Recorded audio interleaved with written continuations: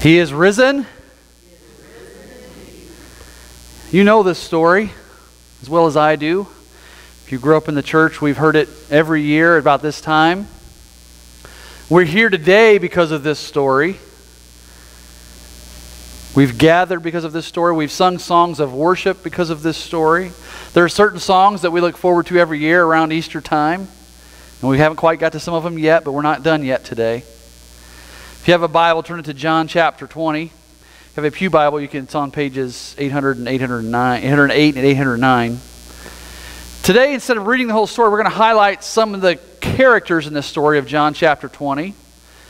And we're going to notice what it is that they just missed. But I do want to read the first couple verses just to, to get us set and, and started on our way. John chapter 20, verse 1. Now, on the first day of the week, Mary Magdalene came to the tomb early, while it was still dark, and saw that the stone had been taken away from the tomb. So she ran and went to Simon Peter and the other disciple, the one whom Jesus loved, and said to them, They have taken the Lord out of the tomb, and we do not know where they have laid him. Mary informs the disciples, in this case named Simon Peter, and it says the other disciple, and if you're familiar with the book of John, he never talks about himself. But in, in this case, he describes himself as the other disciple, and the one whom Jesus loved is John, the one who's writing this book, speaking of himself.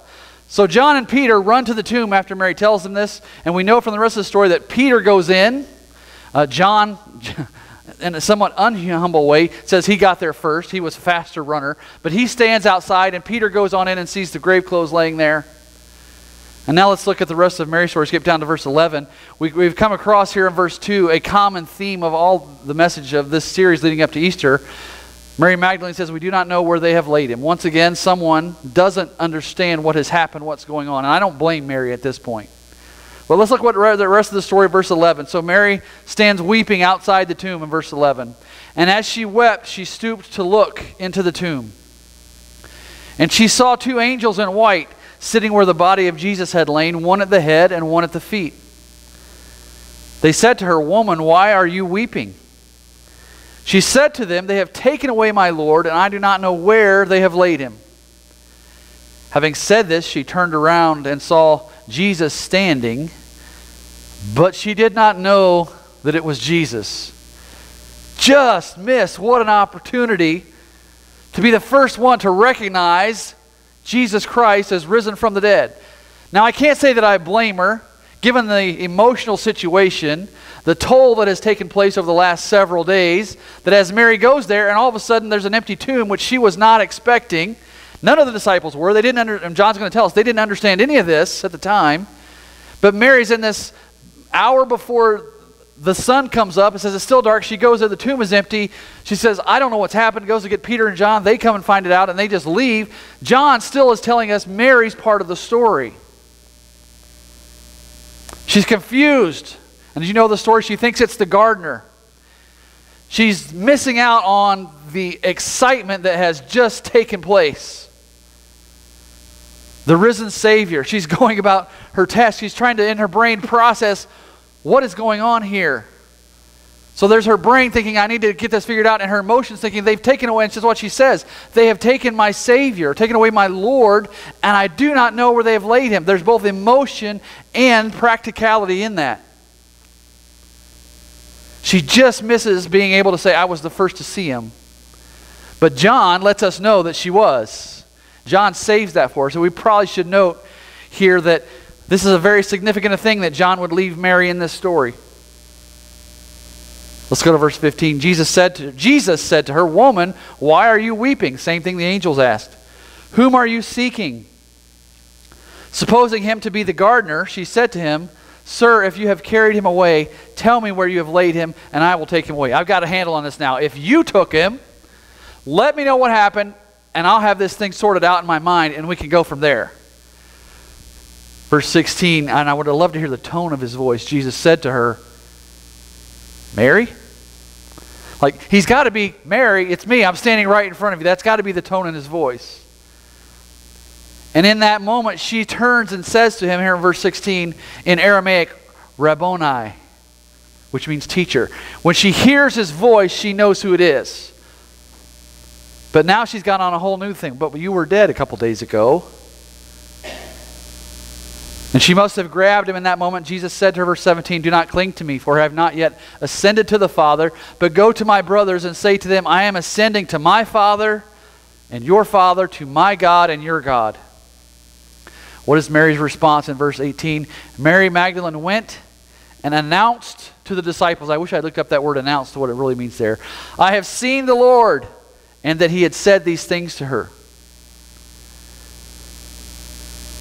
There's really no need for this part of the story. John could tell the story that when John and the other disciple heard about the tomb, they ran to see if it was true. It is significant that he preserves Mary here.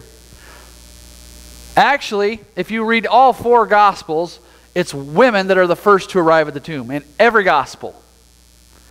Which is remarkable for the time because you've, you've heard the stories told of that women were not allowed to testify in court as witnesses. Their testimony wasn't credible enough. They were almost second class citizens.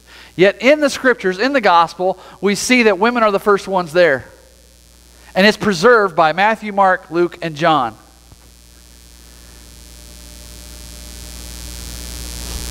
They all tell us that it was the woman that was the first to know about the empty tomb.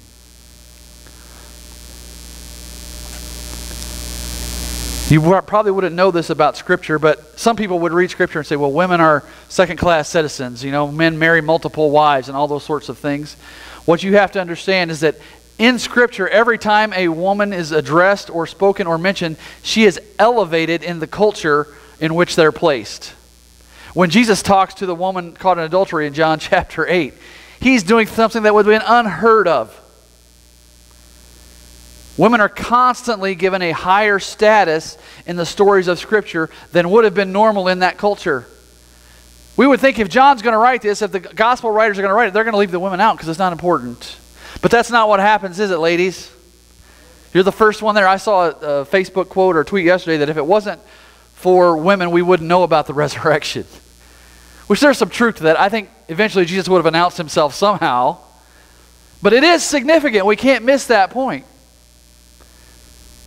The reality is that Scripture elevates women in the culture in which they live, and they, they serve a greater role than was common. And the first person that Jesus speaks to when he comes out is Mary.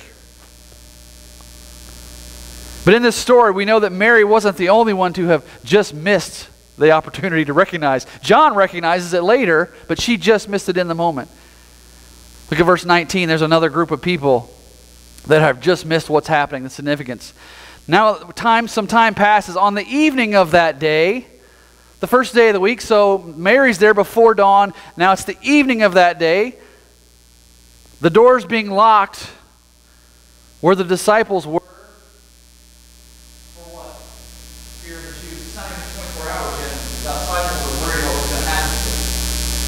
So here's the disciples gathered behind locked doors in the evening. Jesus came and stood among them and said to them, Peace be with you.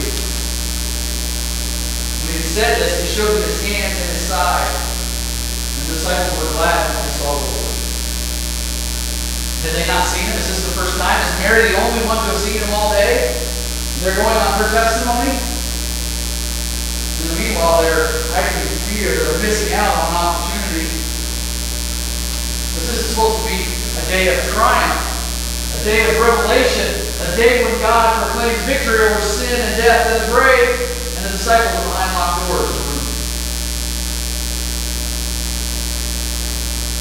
They know that the tomb was empty on that morning. Peter and John had been there. The evening comes and we find them together doing what? Celebrating? Rejoicing? Saying, what's next? No, we find them cowering. Afraid of what the Jews are going to say about them or do to them.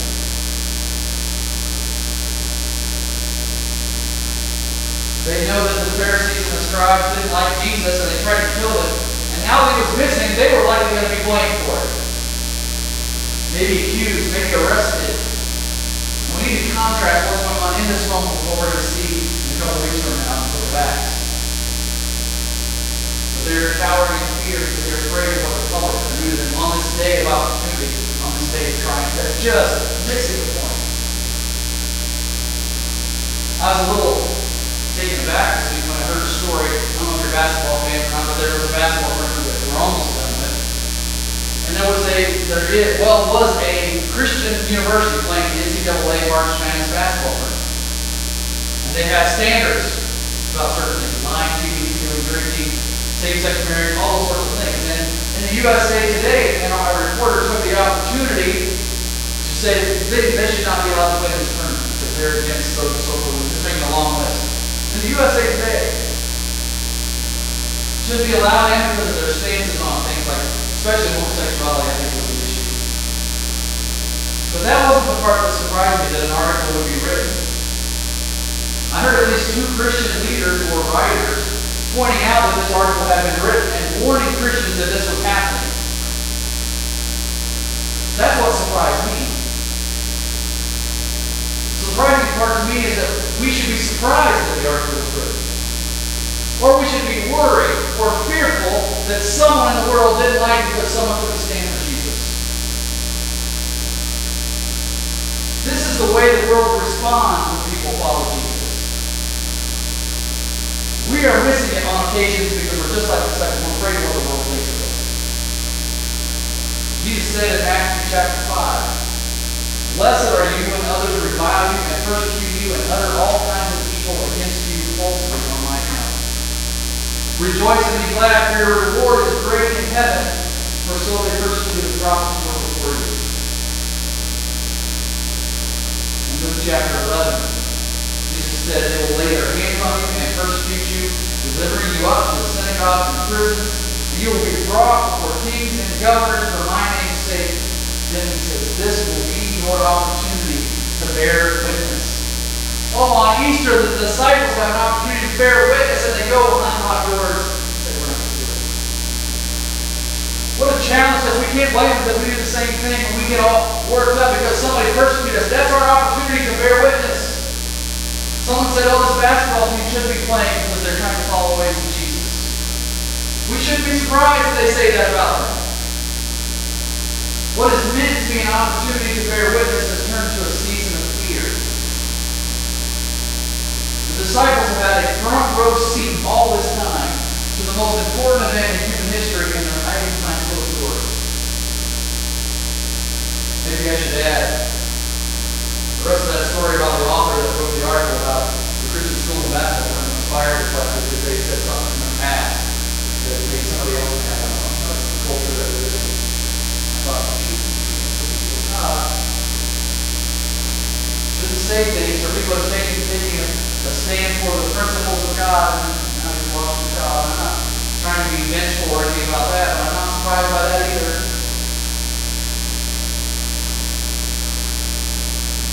The fact that someone would write an article is not a reason to be worried or afraid. It's a time to declare with boldness, I stand amazed in the presence. In Christ alone my hope is found. I ran out of that grave. The resurrection is a reason for boldness, not for fear. Amen? Mary missed it. The disciples missed it. Probably the most famously, there's another person that misses it here, verse 24. Now Thomas, one of the twelve called the twin, was not with them when Jesus came. Oh, hey, Thomas.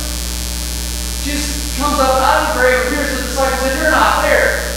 I feel bad for Thomas. He talked about missing it. Wrong place, wrong time. Where, where was he? What was important? Maybe he was out trying to find out what's going on instead of cowering behind closed doors. Maybe we should give him credit for that.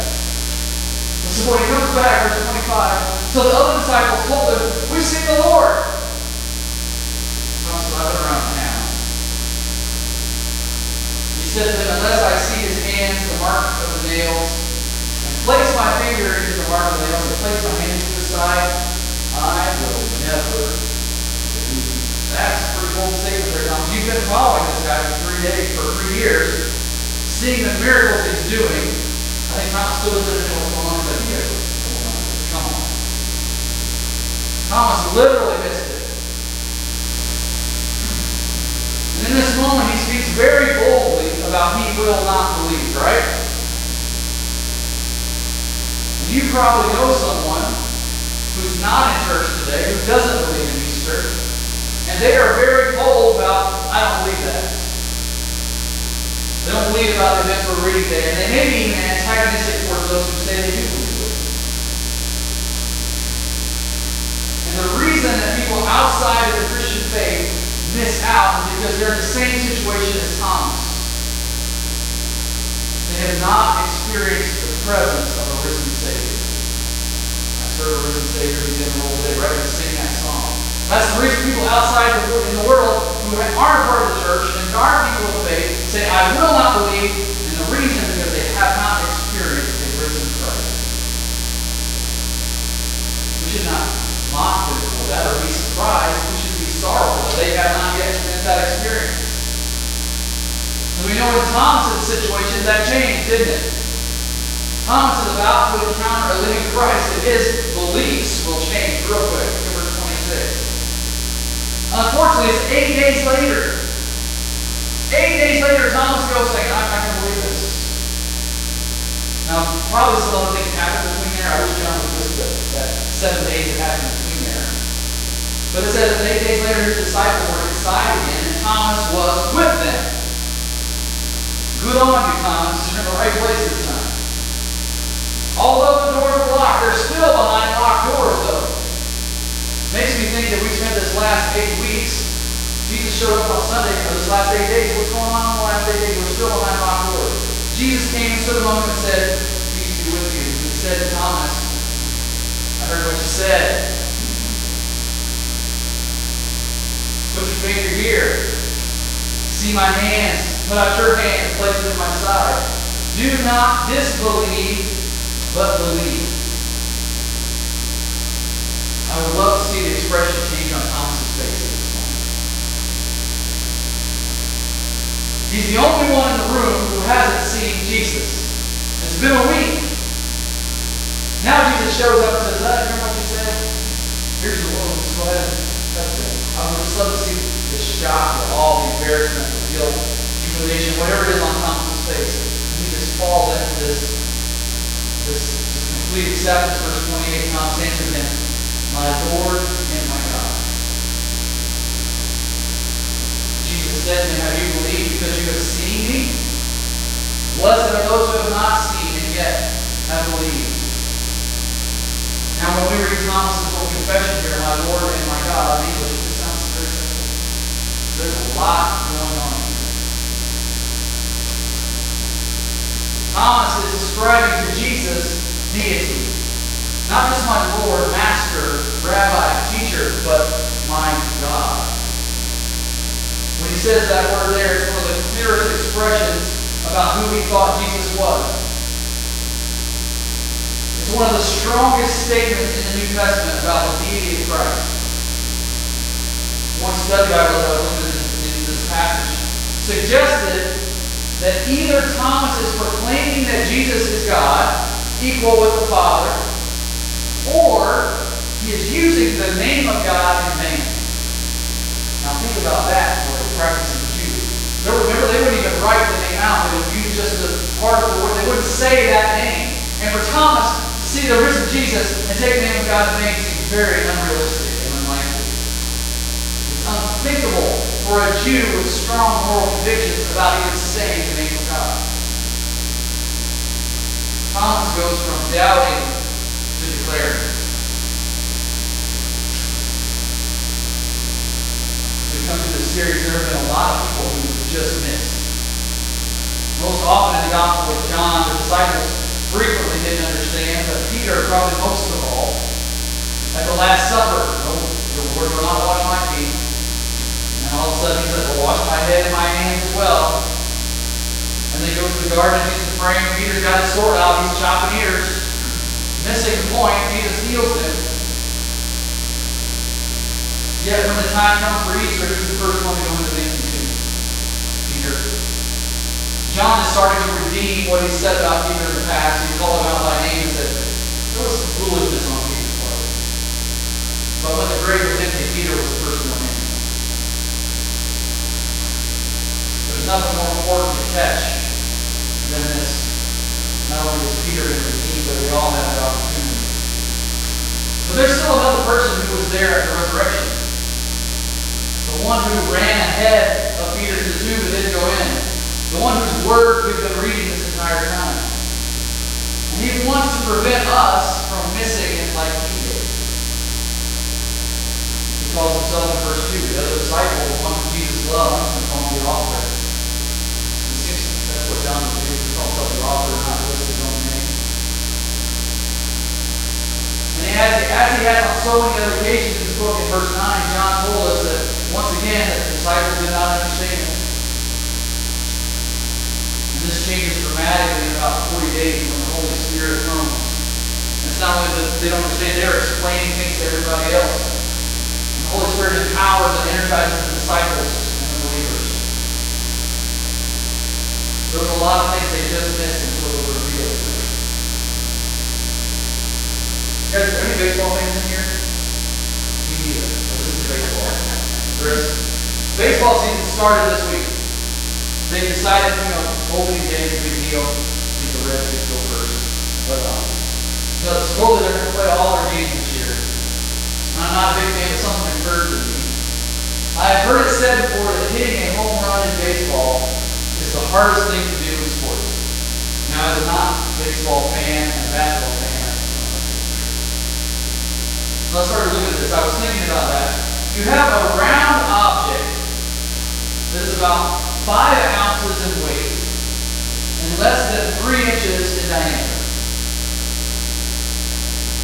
And what happens is an athletic person who has trained their entire life to take this thing and throw it as hard as they can is going to throw it towards you. Hard as fast as they can. They can make it spin, you know, they hold it certain ways. Um, if you've ever been close enough to a baseball game or close enough to somebody who can throw a baseball hard, you can hear it coming. You don't need to see it. And then you spin it and throw it that fast. You can hear it coming. So the person that's going to throw this, who's trained their entire life to do this, can do it at up, upwards of 100 miles an hour. I can't do that. But they're going to stand 60 feet and 6 inches away and throw this at you 100 miles an hour. And it can leave the pitcher's hand and cross the plate in less than half a second. Your goal is to hit this object, moving at 100 miles an hour in all different directions, spinning. It's been thrown by a man who's trained to do this his entire life. The object that you're holding is bat that's only two and a half inches in diameter. It's round. It's not like you get a two by four and stand up there with you know four inches wide, six inches wide, try to hit it. And you, you get at least three chances, though. That's the good news. He's going to throw it in an imaginary box over the plate, somewhere between your armpits and your knees. And that's all the information you have to go on. From here to here, about that wide, at 100 miles an hour, you can try to hit it with a round object. They play 162 games in the baseball season. And a batter may get a chance to bat anywhere from three to five times in a game. Maybe more if they're successful at it, which one could. Success in hitting a baseball is measured in a fraction of an inch. Where's that bat at? In milliseconds of time, because it's coming at 100 miles an hour. To make the bat hit the ball squarely is an amazing amount of hand-eye coordination and skill and practice. Swinging just a millisecond early or a millisecond late can be the difference between success and failure. If you ever watched a baseball game, there's a lot of times where they just get part of it and goes flying off and not play a foul ball. In 2019, a professional baseball player went to bat 54 straight times without getting hit. Was a professional. Really good players manage to hit and keep it in play and get on base only three or four times in 10 chances. Really good players. If you can hit it four times out of 10 and get on base, you're probably one of the best there's ever been. Statistics tell us that one out of those six times will be a home run. So they're only hitting it three or four times out of ten, and only every six times they do one out of every six times is a home run. And every year, lots of fans, not me, pay a lot of money to see people who are really good at both pitching and really good at hitting try to do it and see who does it better. Many games, players don't get a hit.